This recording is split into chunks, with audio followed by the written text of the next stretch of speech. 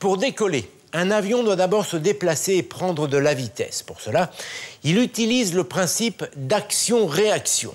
Ces moteurs tournent à plein régime. Ils aspirent de l'air d'un côté et le rejettent vers l'arrière en l'accélérant. L'air part d'un côté et l'avion part de l'autre exactement comme ce ballon de baudruche.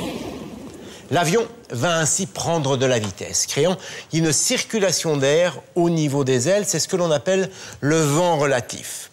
Les ailes de l'Airbus A380 comme celle de n'importe quel avion, ont un bord d'attaque bombé. Ce profil permet d'accélérer l'air encore au-dessus de l'aile. Et quand l'air accélère, eh bien, sa pression diminue. Il y a donc une différence de pression entre le dessus et le dessous de l'aile, une surpression en dessous, une dépression au-dessus. L'avion est donc littéralement aspiré vers le haut, comme cette feuille de papier soumise au souffle du sèche-cheveux. C'est parti.